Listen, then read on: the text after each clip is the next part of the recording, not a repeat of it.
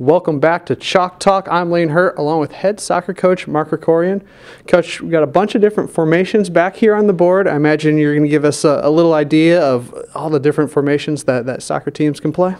Well, I'll give you a little bit uh, of an idea about some of the different formations. There's an awful lot of different ways to play, but uh, I've drawn out, uh, drawn out four different ones, and uh, I can uh, briefly take you through what uh, the advantages and disadvantages are. All right, let's get to the board. Okay, so the shape that I've just drawn is a 4-3-3, and a lot of people think it's more of an attacking shape because there are three forwards uh, closer to the opponent's goals. The advantage of this is when you get the ball forward, you have more people that are closer to create goal scoring chances.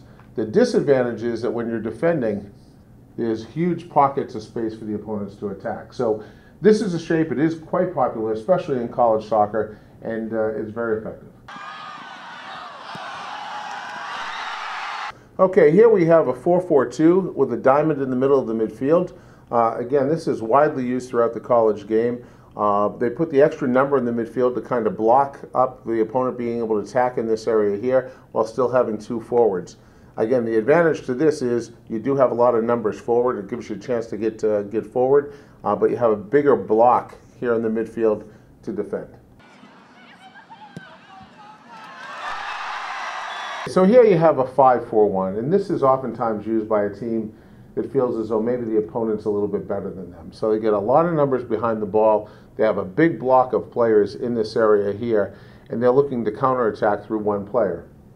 So sometimes when you're overmatched, you look at playing a defensive uh, shape and a defensive formation, and this is an example of one.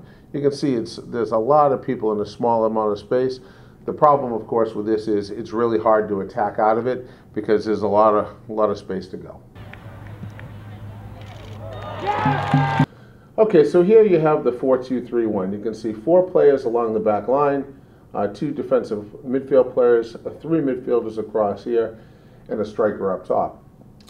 This is a really flexible and versatile system. Sometimes you can invert one of the defending midfield players and in essence create a 4-1-4-1. Uh, here at Florida State, we've played uh, some 4-2-3-1, for, uh, some 4-1-4-1. Uh, we think that it gives us a, a lot of versatility in, in our attack. And um, geometry is important in soccer, and it gives an awful lot of different angles and triangles. So Uh, this is also a very popular shape throughout the college game. There you have it, folks a lot to take in. There's so much that you can do schematically with soccer, but hopefully this will give you a better idea of what you're seeing when you watch a Seminole soccer game or just a soccer game in general. For Coach Krikorian, I'm Layne Herdt. Go Noles.